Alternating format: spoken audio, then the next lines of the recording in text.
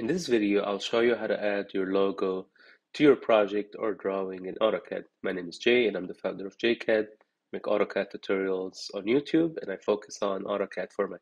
Let's dive in. So the command we use to insert a logo into our drawing is the attach command. To access the attach command, all we need to do is type attach. So I'm going to type that on the keyboard, then I'm going to click on return and then it will ask us where do you want to place or where do you want to grab this file from. So what is the file or where's the location of the file you want to insert. I've already saved it here on my computer and then I'll select the file and then, then I'll click open. And once we do that, we will get this window that asks us a few questions. Uh, the two that I want to focus on is the insertion point and the scale.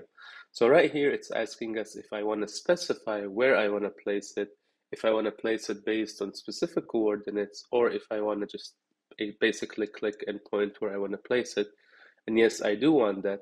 And then in terms of the scale, since I don't know how the size of this picture or this logo is going to be relative to my drawing, I will also leave this toggle on so that way I can uh, decide the size of the logo within. So I will leave this, I will leave this, and then I'm just going to click OK and I will leave rotation unchecked and we're not going to cover the path type in this video. And we click OK. So once we do that, AutoCAD will ask us where to place the logo. Uh, I'm going to click somewhere here. Okay, so once you click, now it's asking you like how big do you want this to come out. So I'm just going to do something visual for now and click and boom, now I have the logo inserted in my drawing. Now I'm doing this on the model space. Uh, but the place that I really like to place my logo is not really here where I'm doing the drawing in the model space. I like to do it on the paper space or on a layout where I have a title block. So what I will do is go to one of the layouts that I already did and I'm gonna go I believe to this one and then from here I already have a title block that I created previously. I'll leave you a link so you can watch how I created this specific one and go over it. But anyway, we're to go inside this block and I'm to use the block edit command for this.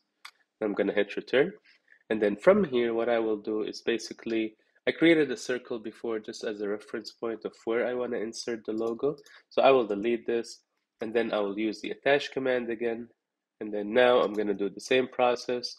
I'm to leave everything and then I'm to click here and maybe here. And then I'm to hit save and then I'm to click X to leave the block editing mode. And now when I look at this, you can see that my logo is placed on the title block. And then if I copy this layout, I should have the logo already there if I make additional drawings. One more thing I want to cover in this video is if you're using the title block that I give you the download link for, you'll have to do it from the file directly. So for example, I'm going to open it here and it's this file. So here you would replace where it says your logo here and then it's the same process. You would attach and then you would place your own logo over here and then the same process. And then once you're done with that, you need to save this uh, title block so that way the next time you use it in your project and insert it, it will come up with your logo. The last thing I want to cover in this video is basically telling you like a little warning, just so you're aware.